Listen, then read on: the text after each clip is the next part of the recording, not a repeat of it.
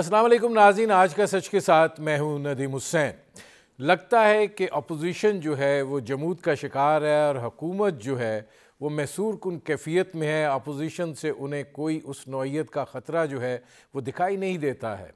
P D M वो तो ऐसे लग रहा है जैसे तीन महीने की छुट्टी पर चले गए हैं और वापस आएँगे और उसके बाद वो फिर देखेंगे कि उन्होंने एहतजाज जो है वो किस नौीयत का करना है, किस तरीके से करना है और इस्लामाबाद अगर आना है तो फिर आकर वहाँ पे करना क्या है? और तारीख़ का भी ऐसा ऐलान कर दिया है तेईस मार्च का कि जो इस बात का इंदिया देती है कि एन मौके के ऊपर इस तारीख़ में तब्दीली भी हो सकती है, ये मज़ीद आगे जा सकती है। ज़ाहिर है, पाकिस्तान पीपल्स पार्टी भी इस महीने में एहतजाज तक महदूद है।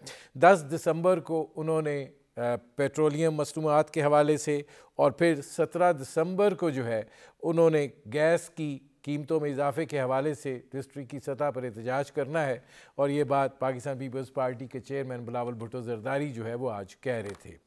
लेकिन पाकिस्तान पीपल्स पार्टी ने एक अंगड़ाई ज़रूर ली है और वो है लाहौर के अंदर, जो हल्का 133 का इंतखब हुआ, उसमें 5000 वोटों से छलांग लगाकर बत्तीस हज़ार वोटों तक पहुँचने की। आसफ़ अली जरदारी साहब ने इस हवाले से एक जश्न का भी अहतमाम किया, खुशी का भी इजहार किया और ये कहा कि पाकिस्तान पीपल्स पार्टी जो है, वो पंजाब के अंदर बेदार हो रही है। इस वक्त ये भी एक तासर उभर कर सामने आ रहा है कि जैसे जो दो मुख्तदर क़वतें हैं, पाकिस्तान पीपल्स पार्टी और मुस्लिम लीग नवाज़, वो पस पर्दा भी कुछ ऐसे मुजाकराती अमल में या ऐसे रवाबित में मशगूल हैं, जिसके असरात जो हैं, वो आइंदा आने वाले दिनों में ज़ाहिर होंगे। ज़ाहिर एहतजाजी सियासत जो है, उससे गुरेज किया गया है। इस्तीफ़ों की सियासत, लॉन्ग मार्च और धरना जो है, वो बार बार ऐलान करने के बावजूद आगे की जानब खिसकता चला जा रहा है। और इससे दिखाई ये देता है कि या तो अपोजिशन जमातों का ये ए, मामला है कि इंतबात अगले साल होंगे और वो इस हवाले से जो है आ, वो खामोश हैं। या फिर ये कि कुछ चीज़ें जो हैं वो तय पा रही हैं और ये शायद यही वजह है कि बड़े ठोस अंदाज में चाहे वो सदर, सबक सदर आसफ़ अली जरदारी हों या पीपल्स पार्टी के चेयरमैन बरावल भुट्टो जरदारी हों, वो अगली हुकूमत बनाने का दावा कर रहे हैं। मुस्लिम लीग नवाज़ जो है, वो इस वक्त बुनियादी तौर पे रुखसत पे है और ज़ाहिर है कि वो उस रुखसत से वापस आते हैं तो फिर पता चलता है कि क्या सूरत हाल जो है वो होगी। इलेक्शन कमीशन ऑफ़ पाकिस्तान का भी, इलेक्ट्रॉनिक वोटिंग मशीन के हवाले से एक अहम स्टेटमेंट जो है, वो सामने आया है और वो ये बात कह रहे हैं कि ईवीएम के ज़रिए मरलावार वोटिंग की तजवीज़ अगर आती है तो वो इस पर गौर करेंगे। और जो आइंदा का लाए अमल है, जो कमेटियाँ तश्कील दी गई हैं, उनकी मशावरत के बाद जो सामने आएगा, उसकी रोशनी में जो है, वो तय किया जाएगा। लिहाजा ये जो दिखाई दे रहा है, हुकूमत का दबाव कि नहीं, हर कीमत पे आइंदा इलेक्शन जो हैं, वो इलेक्ट्रॉनिक वोटिंग मशीन के ज़रिए होंगे, उसमें ये हल्का सा एक तसाहल जो है वो दिखाई दे रहा है। दूसरी जानब वज़ी अजम इमरान खान आज पेशावर में थे और उन्होंने एक मरतबा फिर ये बात दोहराई और वो कन्विंस्ड हैं कि मुल्क के अंदर जो है वो कहते हैं, मैं अब भी कहता हूँ कि इतनी महँगाई नहीं है। हमारे माशी इशारे जो हैं वो दुरुस्त हैं और ज़र मुबादला के ज़ख़ायर जो हैं वो मुस्तकम है, लिहाजा कौम फ़िक्र न करे। ये वो मंजरनामा है जिस पर करेंगे बात। मेरे आज के मेहमान सीज़न पॉलिटिशन है। सेनेट के चेयरमैन रहे, पाकिस्तान पीपल्स पार्टी के सीनियर रहनुमा और सेक्रेटरी जनरल नैयर बुखारी साहब। नैयर बुखारी साहब, पहले तो ये फरमाइएगा कि पाकिस्तान पीपल्स पार्टी जो है, लाहौर के अंदर जो वोटों का तनासब बढ़ा है और उस हवाले से जो एक कमज़ोर कैफियत रही है उसमें से पाकिस्तान पीपल्स पार्टी जो है वो निकली है। आप क्या समझते हैं कि पाकिस्तान पीपल्स पार्टी जो है आ, उसकी वहाँ पे उसने अंगड़ाई ली है या कुछ और असरात भी हैं कुछ और महरक़ात और इसबाब भी हैं? शुक्रिया नजीब हुसैन साहब। ये जो बात आपने की है और जो है तो बड़ी मानी खेज बात कर रहे हैं आप। पीपल्स पार्टी ने इस इलेक्शन को आ, अपने रवायती अंदाज से ही कंटेस्ट किया जैसे पीपल्स पार्टी 1970 ऑनवर्ड कंटेस्ट करती रही है। दो हज़ार अठारह के इलेक्शन में शायद हम हमारे कैंडिडेट को एफर्ट नहीं पुट इन कर सके जिसकी वजह से नंबर ऑफ़ वोट्स बहुत कम मिला पीपल्स पार्टी को।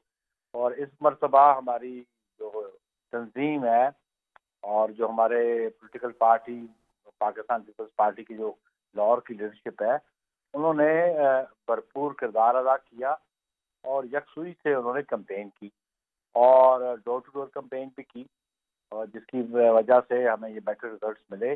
अल्दो के टर्न ओवर जो था बड़ा लो रहा। नॉर्मली बाई इलेक्शन में टर्न ओवर कम होता है, लेकिन इसमें लाहौर में ज़रा कम नज़र आया। लेकिन अगर टर्न ओवर बेहतर होता तो हमारी पोजीशन और बहुत बेहतर होती। तो पीपल्स पार्टी ने इस इलेक्शन को बड़ा सीरियसली कंटेस्ट किया। हमारे कैंडिडेट ने बड़ा सीरियसली कंटेस्ट किया। और सेकेंडली फिर हमें ये भी नज़र आया कि वो आर टी एस ऑपरेट करने वाले उनकी कोई इंटरफेरेंस नहीं थी। इसलिए नईर बुखारी साहब, आपने जैसे कहा कि इंटरफेरेंस नहीं थी, लेकिन एक तासुर ये भी है कि जब पीपल्स पार्टी की क्यादत बड़े वसूख से इस चीज़ को कहे कि अगली हुकूमत हमारी है और कुछ मामला इस नोयत के दिखाई भी दें।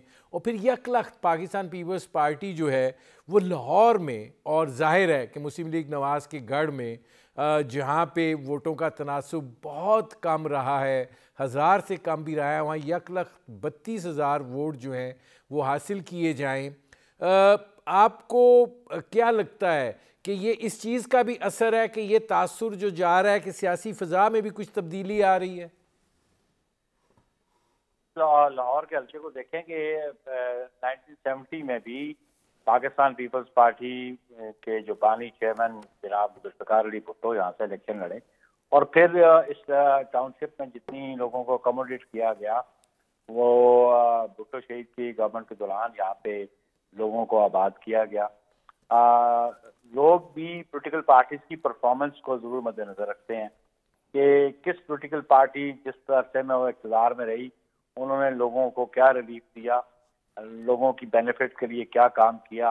आ, लोगों ने महसूस किया कि नून की भी क्या परफॉर्मेंस रही और बिलखसूस अब पीटीए की परफॉर्मेंस क्या रही।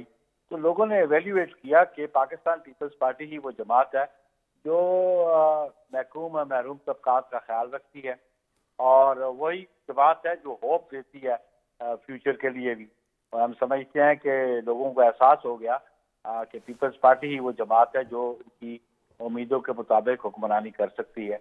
आ, आपको इल्म होगा कि 1970 में जो इलेक्शन थे पाकिस्तान पीपल्स पार्टी की जो सूरत हाल थी आपके सामने थी जुल्फकार अली भुट्टो शहीद जहाँ से कंटेस्ट किया और बड़ी नामवर शख्सियात जो पंजाब के हवाले से थी जनाब जस्टिस डॉक्टर जावेद इकबाल साहब का मुकाबला भी रहा भुट्टो शहीद के साथ। तो अब हम समझते हैं कि पाकिस्तान पीपल्स पार्टी की परफॉर्मेंस जो है, लोगों को एहसास हुआ और हमारी जो कंपेन थी, उस कंपेन को बड़ी जानदार कंपेन थी और ये रिज़ल्ट अचीव हुए आप ये भी देख रहे हैं कि जो क्यादत जिसको आप गढ़ कहते हैं मुस्लिम लीग नून का जब वो क्यादत यहाँ से मुल्क छोड़ के भाग जाए तो फिर लोगों का एहसास होता है गालिबा वो वापस आए ना आए। क्योंकि 2002 के इलेक्शन रिज़ल्ट भी आप देख लें कि लाहौर से नून को कितनी सीटें मिली। नेशनल असेंबली में टोटल सेवनटीन एटीन लोग थे ये हम्म। दो हज़ार दो की असेंबली में नून वाले। तो क्यों इस वजह से कि उनकी क्यादत इस मुल्क में मौजूद नहीं थी। वो कंपेन नहीं कर पाए थे। इसलिए पाकिस्तान पीपल्स पार्टी उस वक्त भी लाहौर से सीटें जीत कर आई थी। और इतजाज साहब 2002 की असम्बली में भी लाहौर से ही मुंतखब होके आए थे। समीना गुरगी के साहब अभी लाहौर से ही इलेक्शन जीत के आई थी। तो इसलिए हम समझते हैं कि लोग बिल्कुल पार्टी की परफॉर्मेंस को ज़रूर देखते हैं। कि प्रीवियसली किस जमात ने अपने मैनिफेस्टो के मुताबिक अमल दरामद किया, किस जमात ने लोगों को रिलीफ दी तो ये सारे फैक्टर्स हैं। जो पीपल्स पार्टी का बने मुझे बुखारी साहब एक ब्रेक लेना पड़ रहा है Nazni secretary general Pakistan Peoples Party Nayyar Bukhari से हमारी गुफ्तु जारी है वक्त हुआ है मुख्तर से कमर्शल ब्रेक का मिलते हैं इस वक्त बाद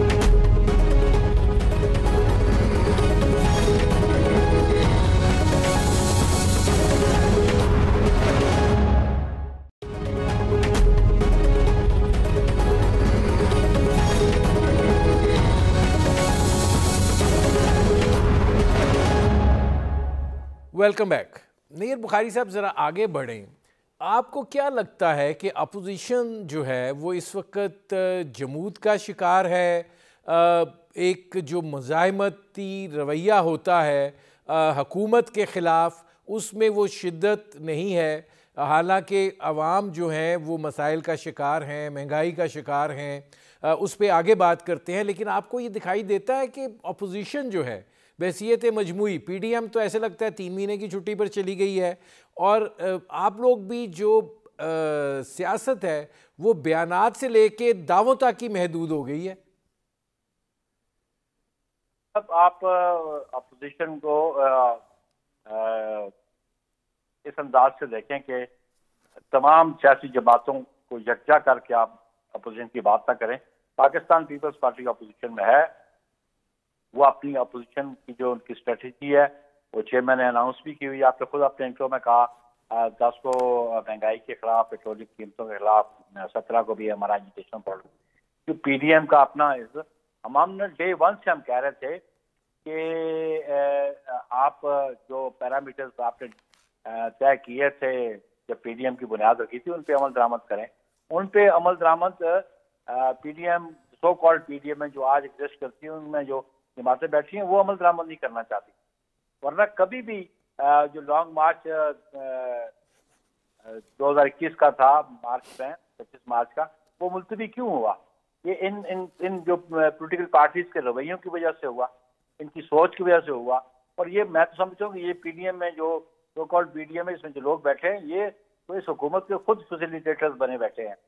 ये खुद फैसिलिटेट कर रहे हैं, मरियम साहबा कुछ बयान देती हैं और मौलाना फजलरहमान साहब कुछ बयान देते हैं। आ, मुझे समझ नहीं आती कि वो कलेक्टिवली क्यों नहीं काम करना चाहते थे? और ऐसी शराय क्यों लॉन्ग मार्च के साथ मुंसलिक कर दी गई थी जिस पे अमल दरामद नहीं हो सकता था? और पीडीएम को वजूद ही खतरे में पड़ गया बल्कि पीडीएम एग्जिस्ट ही नहीं करती आज। तो इसलिए पाकिस्तान पीपल्स पार्टी तो अपनी अपोजिशन कर रही है। ठीक है। नहीं नेर बुखारी साहब यहाँ पे एक सवाल पैदा होता है। सवाल ये पैदा होता है कि अगर आप तहरीक अदम अतमाद का कह रहे थे तो क्या उसके पसे पुश्त कोई अनदेखी कुत कार फरमा थी? और अगर वो लॉन्ग मार्च से हट रहे थे या वो इस्तीफ़ों की बात कर रहे थे तो उसके पीछे भी कोई पस मंज़र था कोई वजूहत थी? आ, क्या मसला क्या है कि ना इस्तीफ़े दिए जाते हैं ना लॉन्ग मार्च होता है ना एहतजाज उस तरीके से हो पाता है तो ये क्या आपको क्या वामिल दिखाई देते हैं पसे पर्दा समझता हूँ कि जिन बुनियादों पे पीडीएम का आगाज़ हुआ, उनसे नाराज़ तो पाकिस्तान पीपल्स पार्टी ने नहीं किया। और हम ये समझते थे कि हम हर वो आईनी रास्ता और कानूनी रास्ता अख्तियार करेंगे इस गवर्नमेंट से निजात हासिल करने के लिए। उसके लिए पाकिस्तान पीपल्स पार्टी ने अपनी बिल्कुल लॉन्ग मार्च की तैयारी की हुई थी। आ, ये सवाल आप करें जो आज वो जमातें जो पीडीएम में बैठी हैं जो कि उन्होंने क्यों ये शर्त मुंसलिक कर दी कि इस्लामाबाद पहुँच के तो हम रेजिग्नेशन करेंगे। अभी जब पीपल्स पार्टी और एएनपी उसका हिस्सा नहीं रही अभी ये इतफाक क्यों नहीं कर पाए रेजिग्नेशन पे? अभी अभी अभी इस पे इनका मौकफ क्यों नहीं बाजा पीपल्स पार्टी डे वन से कह रही थी।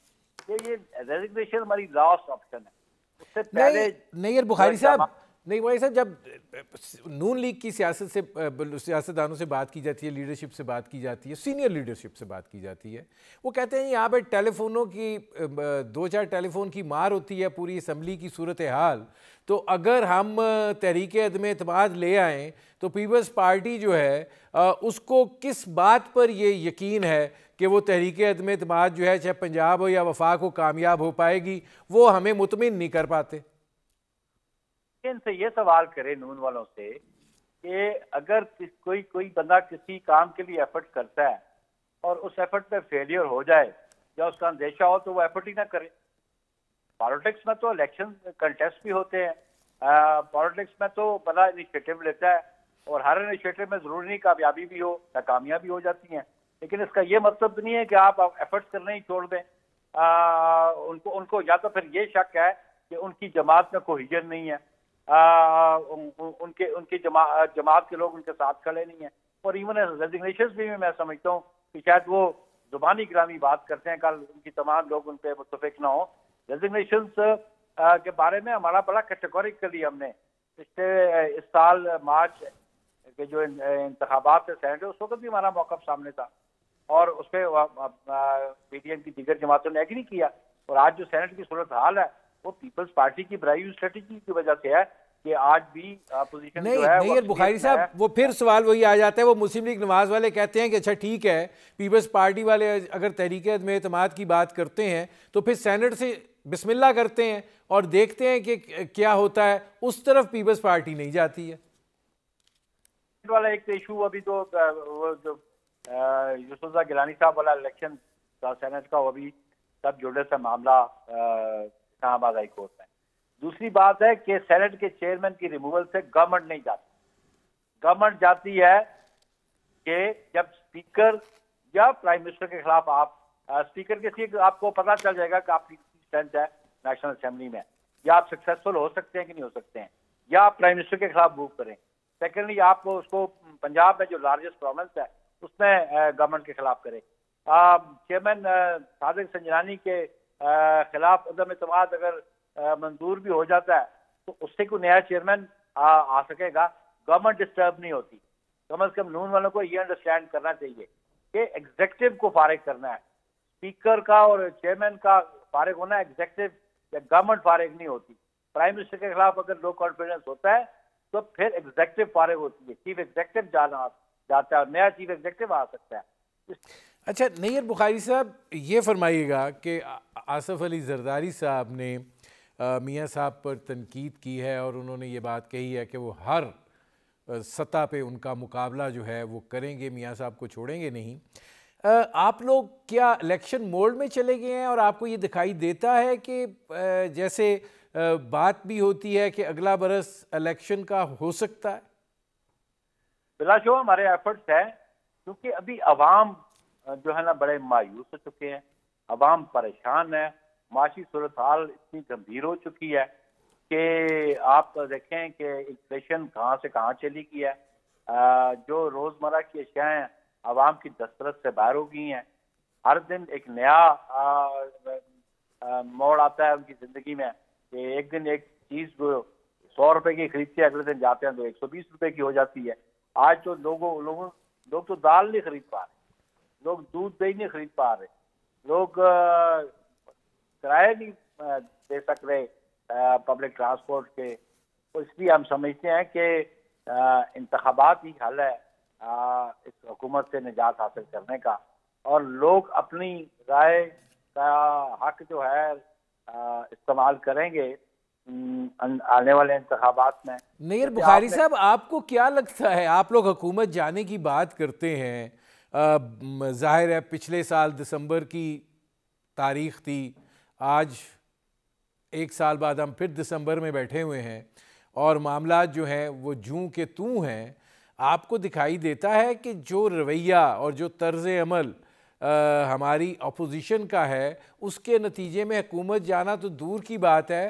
हुकूमत पर किसी किस्म का दबाव भी है और वो उस दबाव के तहत जैसे माजी में देखा जाता रहा है कि अपोजिशन के दबाव से अवाम के लिए बाद सहूलत के फैसले हो जाते थे।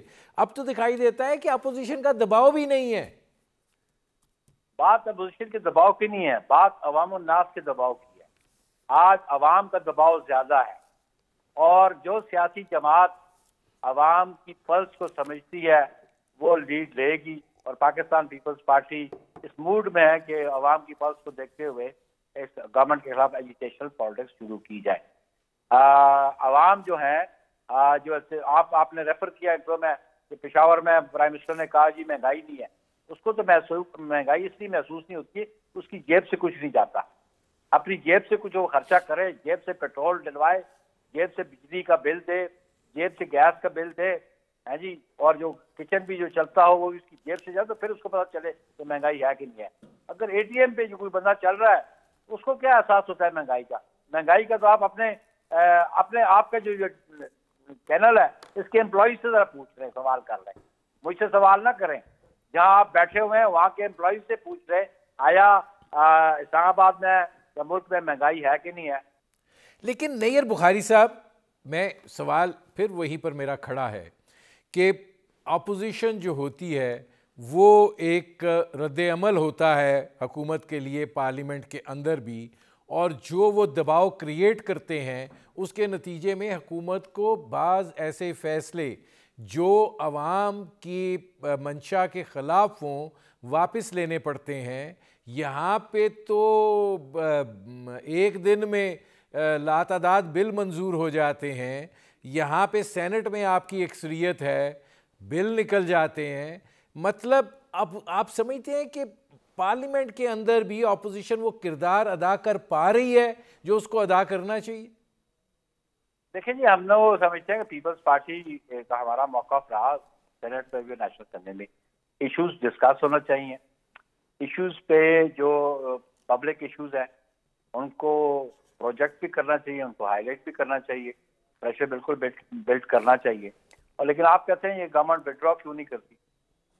इस हुकूमत ने तो पाकिस्तान को तो बिल्कुल तो, तो गिरवी रख दिया आई एम के पास और वो कहते हैं कि जी हमारी इकोनॉमी ठीक हो गई है प्राइम मिनिस्टर इकोनॉमी ठीक हो गई है हमारे फॉरेन एक्सचेंज रिज़र्व बेहतर हो गए हैं। फिर आपसे पूछ रहे कि फॉरेन एक्सचेंज रिज़र्व कैसे बेहतर हुए हैं आपके?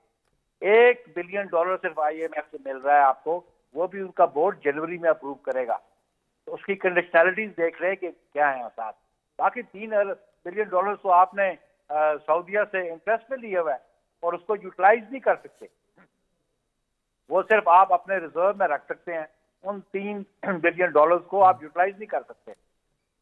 वो आप अपनी डिफ़ॉल्ट से बचने की कोशिश कर रहे हैं। और वो भी आपको सऊदी ने हेल्प आउट कर दिया at the interest rate of four percent तो इसलिए हम समझते हैं कि इन, इन्होंने जो कहा कि सात बिलियन डॉलर हमारे पास आ रहे हैं वो बाकी वो जो बॉन्ड फ्लोट कर रहे हैं उसकी वजह से जो आ रहे हैं वो भी बॉन्ड पे भी इंटरेस्ट देना पड़ता है। तो ये इनकम्पिटेंट लोग हैं। इनके पास कोई एक्सपीरियंस नहीं है। इकोनॉमी ये चला नहीं पा रहे। आए दिन ये ब्यूरोक्रेसी में शिफ्ट करते हैं। ठीक है। नईर बुखारी साहब, मुझे एक ब्रेक लेना पड़ रहा है। नाजरीन secretary general Pakistan Peoples Party Nayyar Bukhari से हमारी गुफ्तु जा रही है। वक्त हुआ है मुख्तर से कमर्शियल ब्रेक का। मिलते हैं इस वक्फे के बाद।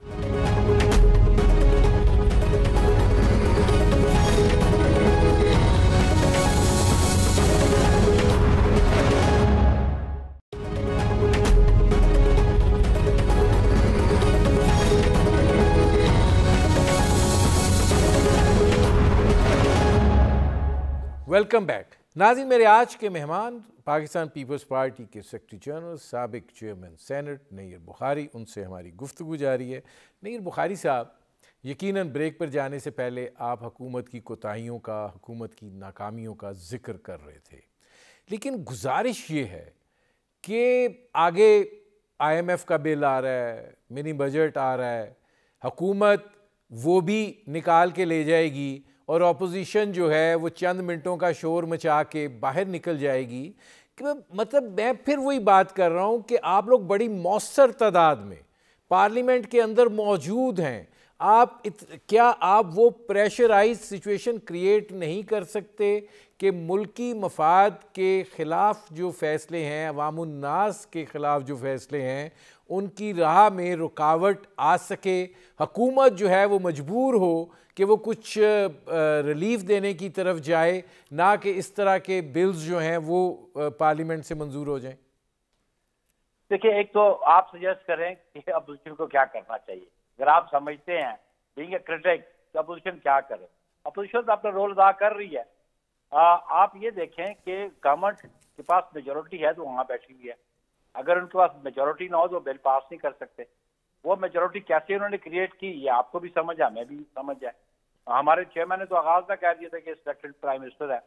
तो वो जो आ, आ, इनके सपोर्टर्स हैं उनको रियलाइज़ करना चाहिए।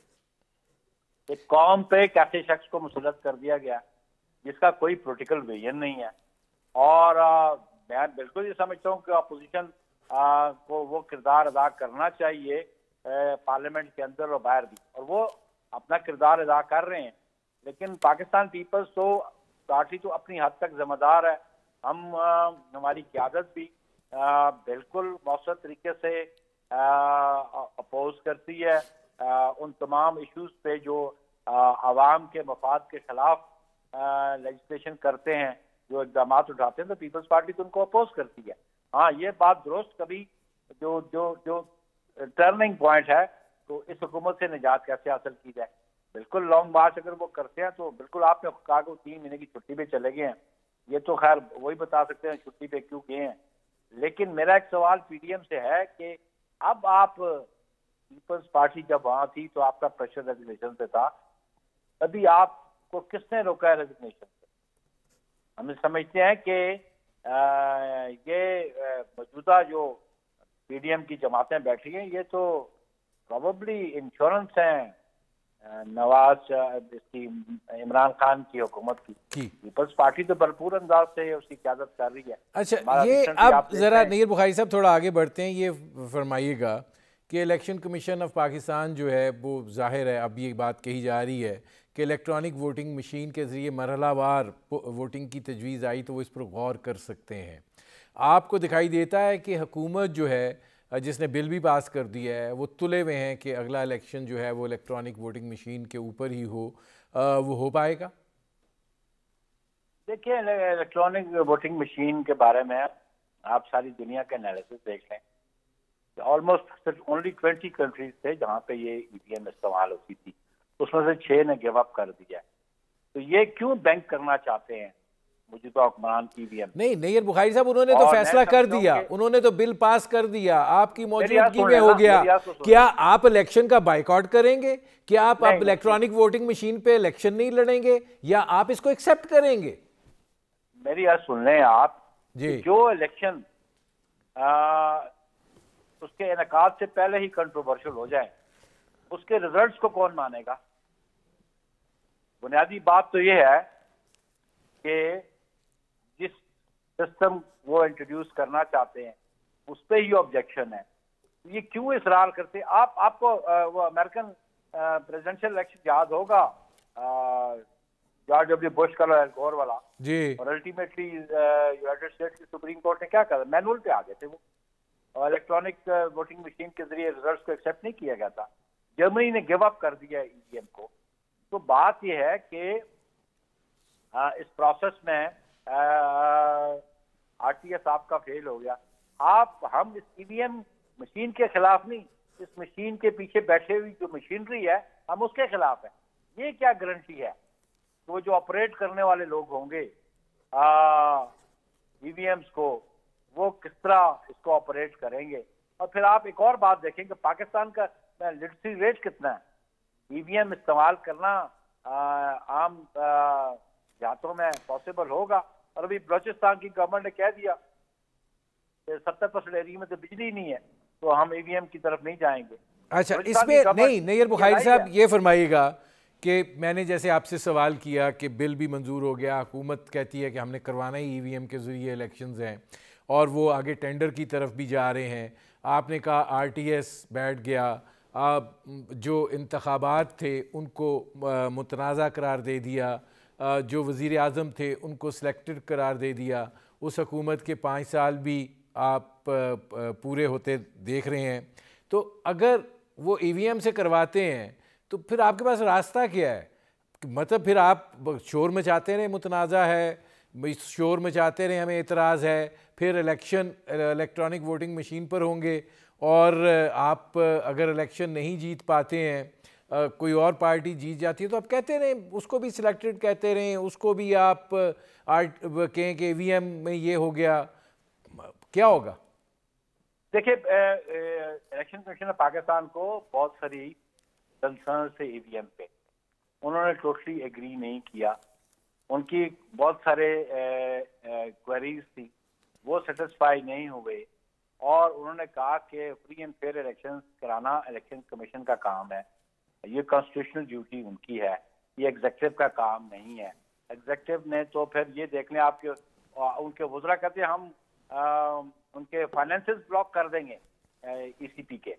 आ, इस किस्म का रवैया जब वो रखेंगे तो फिर आप समझते हैं कि इस मुल्क में फ्री एंड फेयर इलेक्शन होंगे। लेकिन एक बात आप ध्यान रखें जब पब्लिक प्रेशर होगा आ, जब पब्लिक और देखें आज जो अपोजिशन की जमातें हैं अगर नंबर ऑफ़ वोट देखा जाए कलेक्टिवली इनका तो बहुत ज़्यादा बनता है number of votes as compared to PTI तो जब आप देखें thirty percent thirty one percent एक साइड पे काले और सेवेंटी परसेंट एक साइड नहीं नेर बुखारी साहब आप बहुत सीज़न पॉलिटिशियन हैं। आप वर्कर सियासत से ताल्लुक़ रखते हैं। आपने अवामी दबाव की बात की है। क्या आप समझते हैं कि अवामी दबाव आप लोगों के साथ है? अगर अवामी दबाव आप लोगों के साथ होता तो आप वो फ़िज़ा ज़रूर क्रिएट कर सकते, जहाँ हुकूमत पर इतना दबाव पड़ता कि वो अवामी अवाम अवामी मुफाद के तकाज़ों के मुताबिक कुछ फैसले तो कर पाती। देखिए, जब माहौल बनता है तो अवामी प्रेशर बन जाता है। पाकिस्तान की पोलिटिकल हिस्ट्री में इलेक्शन के करीब और इलेक्शन प्रोसेस में, माहौल ज़रूर बन जाता है। और माहौल बनते। मसल मैं आपको मिसाल देता हूँ। हमारे खिलाफ P N A within within one week बना दी गई थी सेवेंटी सेवन में।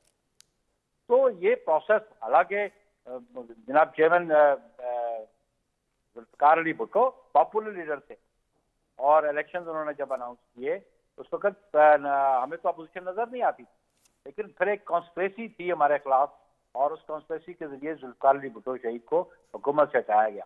लेकिन आप ये जहन में ज़रूर रखें कि जब इलेक्शन का माहौल होगा उस इलेक्शन के माहौल में आ, लोग बिल्कुल आ, जो अपोजिशन का मौकफ है उसकी तरफ़ ज़रूर देखेंगी भी और उस पर अमल दरामद भी करने की कोशिश करेंगी। मैं नहीं समझता हूँ कि सेवेंटी सेवेंटी फाइव परसेंट लोग जिस इलेक्शन प्रोसेस के खिलाफ होंगे। वो इलेक्शन जो है उनके रिजल्ट्स को ही कबूल करने को तैयार क्योंकि तैयार होंगे। मेरे प्रोग्राम का वक्त ख़त्म हो रहा है। बहुत शुक्रिया नैयर बुखारी साहब। नाजिन ये थे secretary general Pakistan Peoples Party Nayyar Bukhari आपने उनकी गुफ्तु सुनी। अब तक के लिए इतना ही। इजाज़त दीजिए। अल्लाह हाफ़